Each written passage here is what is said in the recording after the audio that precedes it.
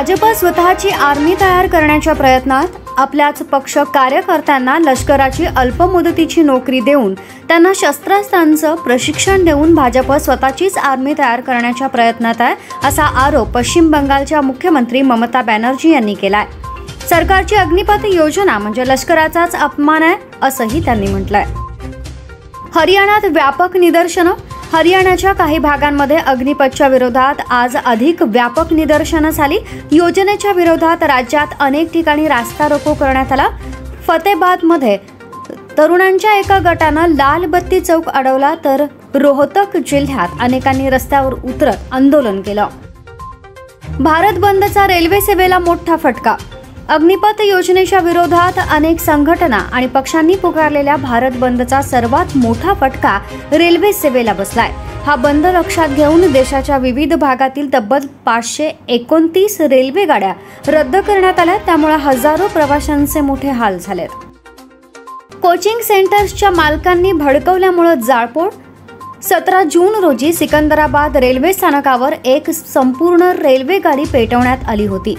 त्याचा आता चौकशीतून खुलासा झालाय. कोचिंग सेंटरच्या मालकांनी विद्यार्थ्यांना भडकवल्यामुळे हा प्रकार घडल्याचं चौकशीत आढळून आलंय.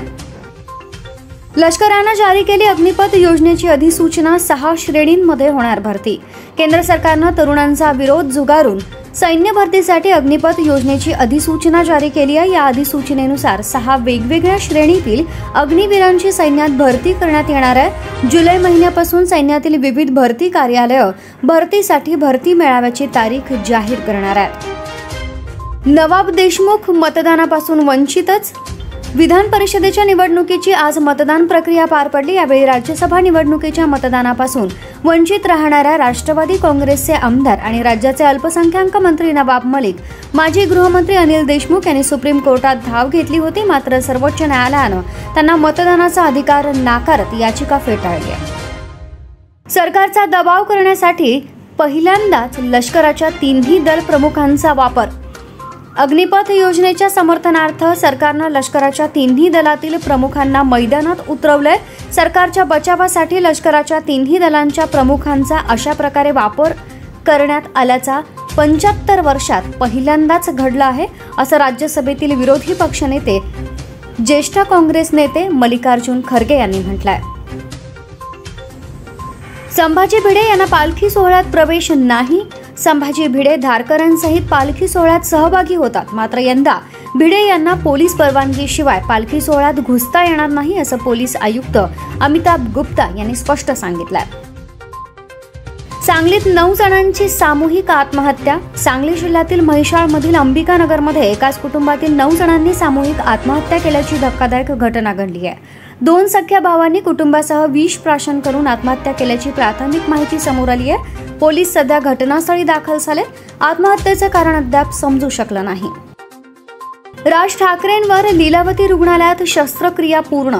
मनसे अध्यक्ष राज ठाकरे यांच्यावर आज सकाळी लीलावती रुग्णालयात यशस्वीपणे शस्त्रक्रिया पार पडली. राज ठाकरे यांची प्रकृती सध्या स्थिर असून डॉक्टरांच्या निरीक्षणाखाली त्यांच्यावर उपचार केले जात आहेत. वारकऱ्यांच्या सेवेसाठी जिल्हा प्रशासनाचं आषाढी वारी दोन हजार बावीस ॲप आषाढी वारी करता येणाऱ्या वारकऱ्यांना वारीबाबत माहिती होण्यासाठी व त्यांना आवश्यक त्या सोयी सुविधा उपलब्ध करून देण्यासाठी जिल्हा प्रशासनाच्या वतीनं आषाढी वारी दोन हजार बावीस ॲप विकसित करण्यात आलाय. या ॲपमध्ये दोन्ही संतांच्या पालखी सोहळा मार्गाचं वेळापत्रक नकाशा पंढरपूर येथील विठ्ठलाच्या थेट दर्शनाची सोय अशी इतरही माहिती दिली आहे. तापसीच्या शब्बाश मिट्टूचा ट्रेलर लॉन्च भारतीय महिला क्रिकेट संघाची माजी कॅप्टन मिताली राज हिचा बायोपिक असलेला शाबाश मिठ्ठूचा ट्रेलर नुकताच रिलीज झालाय.